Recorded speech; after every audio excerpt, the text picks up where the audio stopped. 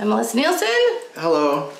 That's Erik Nielsen. I wanted to have like dad's perspective because I think holding the space is a big deal. Um, in fact, we have we've done this training program before. It's like a free video, and maybe we'll have to do it again this summer called "Straight Talk About Your Kids' Bad Behavior." and often when we're doing that, what comes out is that um, the bad behavior is is always tied to mom and dad. Okay. Holding the space. Holding the space. Do your kids like um, this? Is this is the best way for me to explain holding the space. Everything's going nice, nobody's fighting, and then the phone rings, and you pick it up and you start talking on it, and then everything goes to hell in a handbasket. That's because your energy went away. So holding the space is about like your energetic presence, and um, and that's not something woo woo because everything is energy. That's like scientific. so um, when your energy is withdrawn from that space of like being with them, they feel it. And because they're little people and they don't know how to articulate it, it often comes out in like punching their brother or somebody falls or the dog throws up or like everything's like goes crazy. And sometimes they do something that you would have never thought any human mind would comprehend that that would be a thing to do.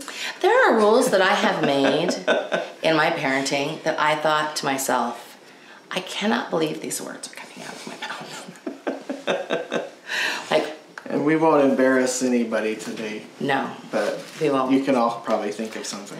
Uh, oh, oh yeah. we have five children. There's never a dull moment in our house, and I. There have been times when I've gone. I have said, I can't believe I had to just tell you, you can't do that. Why would you do that to begin with? Um, but you know, being able to laugh at yourself as a parent is is I think uh, recipe for a happy life. So make sure you laugh at yourself enough.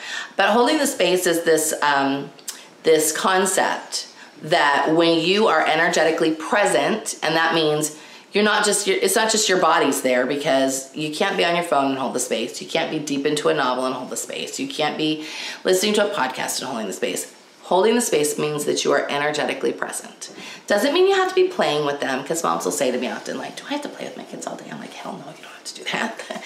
no, don't do that. In fact, that sets them up for failure. I think when you're constantly playing with them, you have to give them that space to understand how to play Yes. and um, and I think that often children, um, i i if they've had too much media, and that can, I mean, too much media for one child is nothing to somebody else, but Yeah. certain temperaments, if they've had too much media, then they kind of forget how to play, and you have to sort of go on a media diet and remind them how to play. Well, one of the biggest indications to me is when it's time to turn that off and The there's media, anger. there's anger, Then it's tantrums. like, okay, that's an indication that they had way too Way much. too much. If they're that mad about it. And uh, so, I mean, that's when I know. I mean, there's other things that tell you they've had too much, and there's certain rules of thumbs that's good Sure, to follow. absolutely. But if it's okay, you got five minutes and it's off, and then five minutes passes and it goes off, and they're like, uh, yeah. like that, then it's like, okay, And I think there's a couple of things to remember with the time warning. Yeah. So, like, one, children don't really understand the passage of time until they're in about second grade. And so, 10 minutes to a, to a five or six or even seven year old is not the same thing as 10 minutes to No. you or I. no. And so you want to be really careful about, um, I- yeah, I mean, usually would say it's going to go off when this episode is over, or um, you know, or something along those lines, so that you you are giving the expectation. Um, and and if it's time, if it's a child that can understand the, the passage of time, but I have seen older children have tantrums, and I go, "Excuse me, then what you- was that all about?" I mean, then you have things like Netflix, where if you're saying it's So okay I to watch this, Netflix.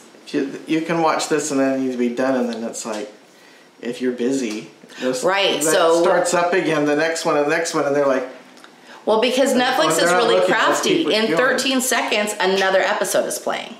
So you want to be like, you want to be careful. If you are using media at all to help you get something done, and that I'm not a proponent of that, like at all. I would say figure out a way to get it done with them, have them come and help you for sure. But I know that the reality for some parents, as they are stepping away from media more and more, is that they are using it at, at certain periods of the day. So here's the thing most children's shows last between 17 and 22 minutes. Look at how long it is. It's a great little like when you push pause, it'll tell you how many minutes are left. So then your job is to set your watch or to pay attention. And if you are if you're using the TV as a babysitter for 12 minutes, then you go get everything done that you need to get done in 12 minutes and come back and be present. Being present That's a good important. point too. Um, Like, this mom Caitlin, says, Caitlin you- says, my daughter doesn't get mad when we turn it off or take away the screens, but definitely doesn't know how to keep herself entertained. So I think that, um, it, Caitlin, is she an only child? I think there's definitely um, differences when you've got.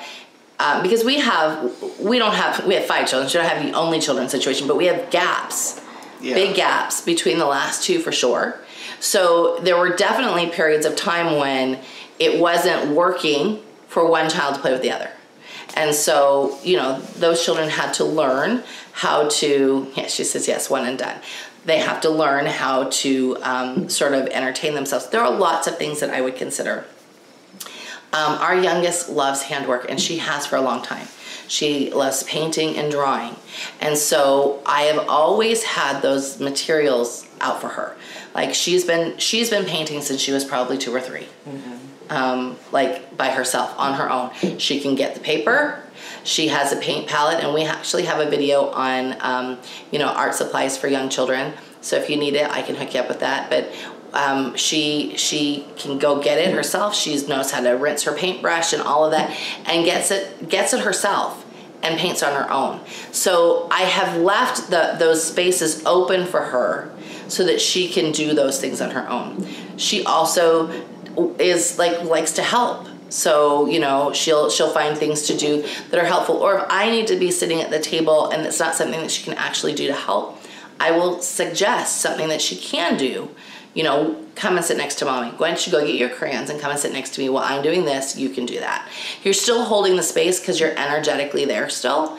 Um, but where where the problem is, yeah, begins is when you you start to check out and then not only do they not know how to entertain themselves and they're struggling with that, but then um, th- because they feel that energetic separation, they don't know what to do with it. And they, that's, and it's not just when naughtiness happens, it's when, um, you know, accidents happen, it's when they start to fall apart, it's they're, they're having a struggle because they need that energetic um, piece from you, at least until seven then it starts to that sort of um, etheric bond starts to change a bit. But then they need they can't hold the space on their own until they're a teenager. And even then certain temperaments are better at it than others.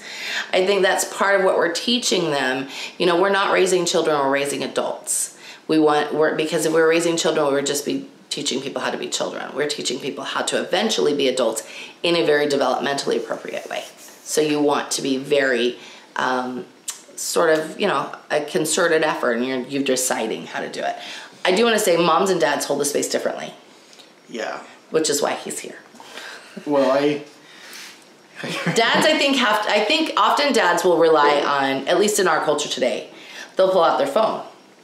Yeah. So, Oh, and, and Lauren says, I have an only child and I can see this being an issue and I see how easy it is for my kid to be occupied with other kids around.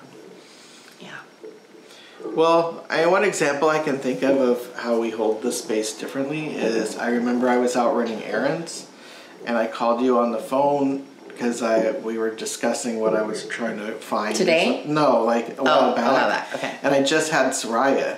Well, when she, when I'm alone with her, she has this idea that when the car stops, she's gonna unbuckle and she's Oh, gonna yeah. get out of her seat. And that she wouldn't do that to you, but I She was talking on the phone, and um, the next thing I know, she's flipping over the front drive, the front passenger seat, lands on something and breaks it. And you were like, "Why was she even doing that in the car?" And it's like, I don't know. I was on the phone and she just does it. And Right. There are things that I think that there are things that children would never dream to do with mom, and there are things that they would never dream to do with dad, like ever. And um, in in that's just a, a, a testament to the strong bond you have with your children. That you and your partner have a different bond, mm-hmm. and I actually really love that. I really love that if I'm holding the space with the kids and, and it's just us and we're, you know, we're not doing school and, and there's no media going, we're just hanging out. I'm likely just going to be sitting there knitting and they're going to be talking to me. We might be listening to a story. We, but if dad's holding the space with them, they're, you know, they're more apt to say, let's play a game, let's do, you know, so they're, because he holds it differently and he brings a different energy to it. I, I think that, um, to help dads get away from like what do i do with them when i'm holding the space because we hear so often we hear well i'm babysitting and i go you're not babysitting that is not what it's called when you're with your child you're called You're parenting. parenting Yeah. so you have to like put tools in your toolbox and i think that that's appropriate for mom and dad because i think often moms also don't know how to hold the space. So they go well, what do i do? They're just playing. That doesn't mean you should retreat into your phone or because that's what happens is when you do retreat into your phone um, that's when that's when stuff happens.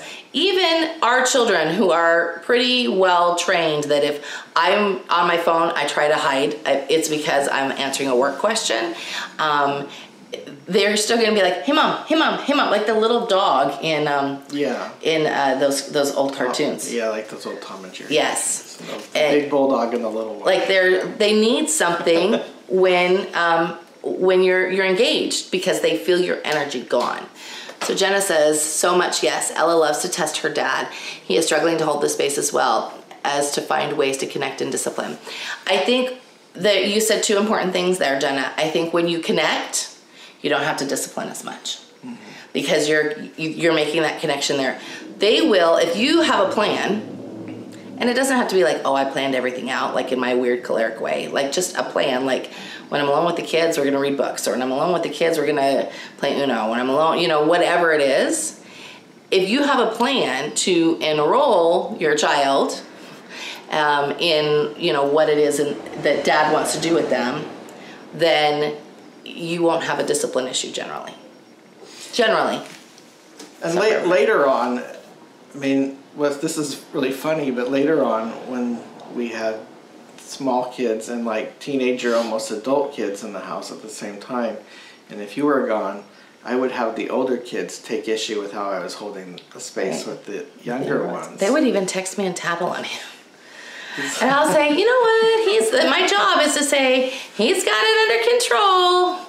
I don't need to hear about it. and sometimes they they may have had a point. We just had this recently where you were you I it was right before our launch and and we had a Disneyland day plan because we live in Southern California. We had a Disneyland day plan and I knew that was not where I needed to be. And so Erik took them, he took our old adult son and Sam and Soraya and they went. And this is what I hear from Harry. She would not be pulling this if you were here. I was like okay well but i'm not so it's okay. It's okay. So when you i think it's really important when you your kids get older and they start to report to you you just go that's okay. I know he can handle it or that's okay. She's got it under control. Because the tattling is this divide and conquer thing that i think they do subconsciously without even knowing. And it goes back to my whole theory called who's got my boob yeah. and the who's got my boob theory is it doesn't matter how many children you have. It doesn't matter how old they are. They will always vie for your attention, mom. Always. Like I have watched it in adult children. Like I every time we're around all of your siblings, they all they only want to talk to his mother. they don't want to talk to anybody else. They don't want to talk to your dad. It's all and then they all it's not just it's not just one person that wants to talk to your mom. They all want to talk to his mom at the same time. And so as your children become adults, you sort of see it. And it will be very interesting because we have one child that doesn't want to talk to me at all right now, but it'll be very interesting when everybody else is trying to talk to me if she actually wants to talk to me during that time period because I think that there is this um, this energy difference between mom and dad. And you know, we live in this culture where they want to make everything the same and there everybody holds a different energy and so you, you know you kind of want to own that and be okay with that and and find healthy ways to express that find healthy ways to you know have have fun with your children and and i think often when dad's gone at work all day i mean you used to be that dad that was gone all day you have to consciously think about well what are we going to do that's not Yeah. like just a video game or that's not like just a movie. You have to consciously think about well, what is it that they would want to do? And what is it that what they would want to do with me that's different than what they're doing with mom all day? Yeah. Um, what would you say um, from a dad's perspective of like understanding the difference between like like seeing it palpably seeing it what happens between when you hold it and when you don't It's there's a chaotic energy and there's an energy of kids that aren't feeling secure. yeah because then when they're not feeling secure they tend to question everything Yeah. and they tend to do things that they wouldn't do when they do feel secure and i think there's just a few little tweaks what would you tell another dad like if he if you had a dad say to you so what are what are the secrets Yeah. what would you say It's being being present, being mindful, listening to what's going on around you, keying in on what their emotions are, right um, keying into what things they're saying to each other and to you, because then you know. Because what what the message you're getting is, hey, I don't feel safe, or I don't know what's going on. I need to Yeah. feel better. Especially like when they're younger, or or when not necessarily that they're little toddlers, but when they're they're big enough that they start to wonder about the things around them. Today, um, Soraya, because we had to go I pick what something up. gonna say. Well, today, you know, when we I had to pick something up on the other side of the border. Right, today. Um, and I had, Erik goes to Mexico to get my blood pressure medication because it's cheaper there than it is here. It's not it's like actually this, it's not like this crazy deal. No, I'm not doing something illegal. He just But, goes. there. and it actually is better stuff than like it is better stuff. So, in about once a month, sometimes we have dentist appointments down Yeah, there and things like we that. like Mexico. So, we go often. um, I'm we're walking to the border and she's asking me all these questions that she doesn't normally ask, like uh, what what point are we in Mexico and what point are we in the United States? That line right what there. happens if you have a like? Do you have passports? What happens if we don't have passports? Why do those people get to go in that line and we have to go in this line? Yeah, because there's two lines. There's a line for foreigners, which would be us, then and lines for Mexicans. You just walk through and you don't have to talk to somebody. Right. But you know, on the other way, and yeah, no matter who you are, you have to answer a bunch of questions. But and then then we get to the other side. He loves that part. We get to the other side, and she's like, "Dad, why don't the birds need passports?" Uh, That's a good one. And. I said, "Well, birds are more free than people are," and she got really quiet. Oh, she's also because she eight, so she's thinking so much, so much thinking. Um, so much is going on in her head. But that told me that she wasn't sure what was happening, and she wasn't sure of her So surroundings. she was asking questions And- about her surroundings. If you had been buried in your phone, she probably would have acted up instead of asking questions. just zoned out or Right. just not paying attention or ignoring her, then it would have escalated to more and more things, you know. I think that whenever you're going to a place like that, because I think, you know, that's kind of, it's not an extreme, but it's kind of like, an, most people aren't going to be like going to Mexico every day. No. But I think that when you're just out with kids, you have to think about where you're going, what you could encounter, and always have an exit strategy. Well, I, I, Always have an exit strategy. I mean, I end up being the one that usually takes them to grocery store trips. Usually I'm the one that takes them. right. And often we sit down and I, I grocery shop for a lot of years. He can do it. It's all good. and often I make, you know, a Google Keep list with check boxes. Right. Because we've talked about what the menu is going to be for the Right. week and what we need. And so I know what we're getting and I'll get to the store and I'll say, look kids, this is my list. This is what we're here to get. We're not here to get anything start other talking than to you what's about on this Nutella. list. And then I know mom told me that you should put Nutella on the list. that only happened actually one time when I actually did ask him to put Nutella on the list. Yeah. But they, And- they milk it every time. And um, so this is what we got to do, and uh, we got to get what's on this list. I need you guys to help me, Right.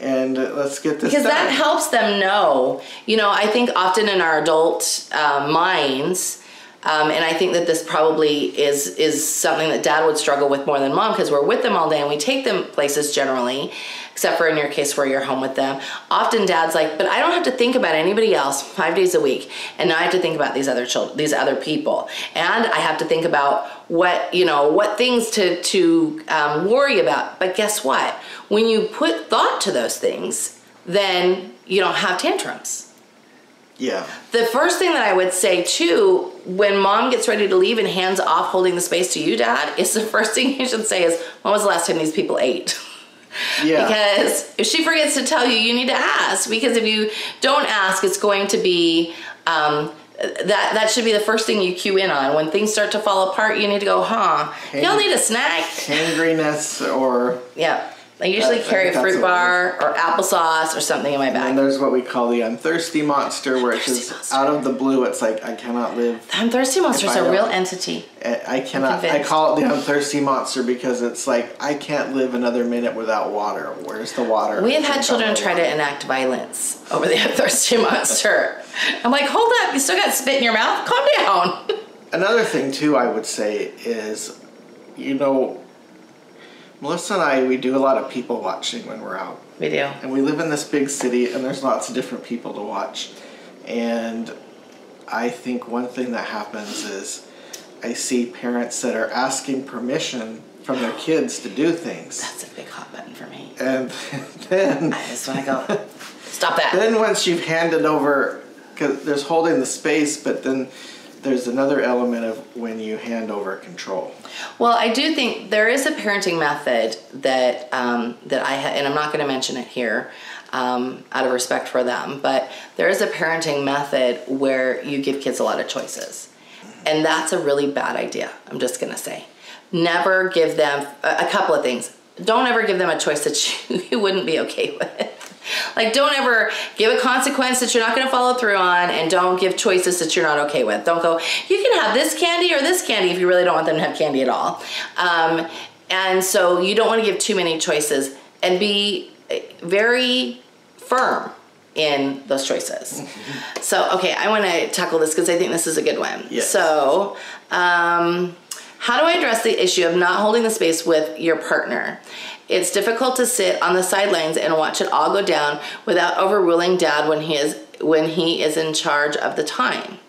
Um, and then this mom says, I have to employ prayer for this so I don't undermine my husband and wait for a moment that feels right to bring up the topic um, or an invitation. Yeah, absolutely, Lauren. That is absolutely what one of the things would be that I would say. The other thing, I, I mean, here's the thing dad knows if it went to hell. you know, and I know. And so we're we're comfortable enough with each other to say, I think if they had eaten, that probably wouldn't have happened. And he's like, Yeah, I know. Or he'll say the same thing to me. You know, they didn't eat. What? or or they probably she probably could use a walk. Because I may not be cued into it. I may be trying to be present, but I'm not completely present. Once it fell apart and it's fallen apart, I call that when you do the crime scene investigation. It's like, okay, so this happened, and before that, this happened, Right. and before that, this happened, and then, and then, okay, I- this is where it started to go, and I had an opportunity Right. to correct it here, and I had an opportunity to correct it there, and I had an opportunity, and now here I am. One of the things that we've gotten really good at saying to each other is, "Do you want to talk about that?" Like after the after it's all happened, because nine times out of ten he's like, "No," because I know where it fell apart, or I'll say, "No," because I know where it fell apart. Like because we're really good at that with each other. If not, if you're not in that place, I would absolutely say, "Honey, I saw what just happened. Do you want me to? Do you want to talk about that? Do you want me to give you some input?" If he says no, then then you step away. The next time it happens, say it again. Would you like some input on that? I've really been working on holding the space and you know, I have these great coaches, Melisa and Erik, and they talk about holding the space all the time. Would you like to watch this video with me? I think that's a really good way, like especially because Jenna, I know that you're um, you're a Thinking Feeling Willing member, so I would grab the Thrive videos on holding the space. Um, I think that it's important to support your partner at all costs. The only time I would say step in is if your partner is hurting your child. Then you step in for sure.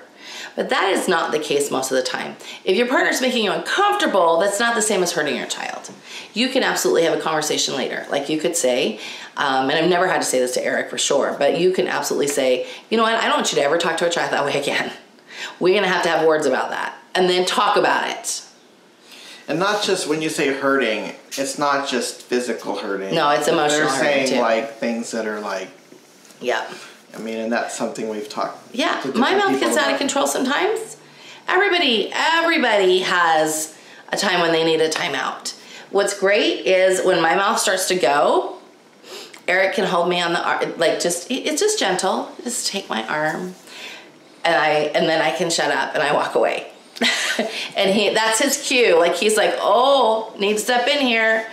Um, I have also really been working on like for the last ten years on because of my temperament. My temperament is like I could bark and it doesn't bother me. And somebody thinks I'm yelling, and I'm like, I wasn't yelling. That wasn't yelling. I could yell for you though if you'd like. Um, so I am really good at being able to say, this is going to come from you much better than it is for me. And it was funny because you said last last week he talked to our adult son, and he was like, "Mom must be really mad if she sent you Uh, instead of me." It wasn't last week, but it was like back when he moved in with us. oh, that's right. That's right. That's right. And uh, it got to where he knew that he had stepped in it big when it was me that had to do the talking Right, to him because he knew. you were like, I can't do this. You need to do it. And he's like, Oh man, I really must have stepped in it if you're coming. And I wasn't mean or No, top, because but- you're the same temperament, but it's he like, knows no, that if for you I to do it. if I have to go in and and uh, retcon something or uh, clean something up, it won't be pretty. and so, um, yeah. Um, but I also know what I should and shouldn't say because I'm a grown up and I can pay attention. Now, if, if this is a brand new concept to you, then then the things that you say would might be. Hey, you know, I was listening to this video today, and this concept of holding the space really intrigued me. Um, you know, I know that like when you and I are in the room together, I can feel your presence. I think the kids can feel us too. Like open dialogue, have a conversation about it, and and instead of um, you know instead of assuming that they know what you're talking about. If I say holding the space nine to to ten people that don't know anything about Waldorf or anything about the work that we do, they they would go, "What are you talking about?" So you have to sort of, you know, front load that with uh, I'm learning about something and I think it's really interesting. And I've been trying it at home while you're gone all day. And what I'm finding is that when I'm trying it at home, it, it really works when I hold the space. So I was thinking that maybe you and I could talk about how to hold the space together when we're both home together. And, and really sort of like coming at it from that way. I don't know. Do you have any other like, do you have any thoughts for men that are like, "Uh, I don't want to hear this?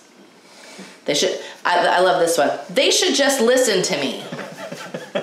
You're right. They should. However, they're not gonna. So, do you want to continue to beat your head against the wall, or do you want to actually do something that is productive? There's there's a place that you have to find in yourself where you're willing to be humble about some things. And Parenting is a humbling. humbling with yourself Yeah. and your partner and kids aren't just going to listen because you're the dad. That would be nice, but that does not. If you think about when you were a kid, Well, I was just, just gonna say, did that ever work for your parents? you like- think about when you were a kid, but Anytime my mom said because I said so, I'd be like, oh, really? Let's me think about how that could not be. And I would say if you're resistant to finding ways to hold the space and to be present and find ways to avoid conflict, you just compare what things are like now to what you'd like them to be. And that sometimes involves doing some things that are uncomfortable or that it, it does like mess with your pride a little bit, but and that's not meaning you have to compromise on who you are or anything like that. It just means like there are certain things that if you want things to be a certain way, there's certain things that you have to do to make them that way. Right, because I think again, we're not raising children, we're we're helping we're developmentally walking through this path to adulthood. And you didn't learn just by somebody telling you one time. You learned by somebody systematically either good or bad teaching you over time. So you have to be willing to be in the space of teacher, not just homeschool teacher, but I I think when it's a when some when a mom says to me, "Oh, I'm homeschooling," that whole family is homeschooling, not just mom. So it's it's something that is mom and dad and and even grandma sometimes everybody's involved in that. And so being able to talk about things and really truly communicate is what's so so important about um, you know this path. And that's what helps you be successful is when you're you're willing to step step aside and go you know i'm learning here. I'm trying to sort this out. Sometimes what i find when there's this going on with mom and dad about you know learning is if mom says you know honey you may have this parenting thing all figured out but i don't. So i'm learning that often takes dad off the hook because then he can go oh see here all this time i thought she knew everything and she doesn't know everything and it's okay for us to both be learning together Yes. because I think often dads think, oh, well, she's with this child all day. She knows everything. She does all the reading. She knows everything, and I don't know anything. And really and truly, when you can both come to a place of we're both learning, and and I welcome you to read the stuff that that I've been reading, and I I'll you know come to you if you'll come to me.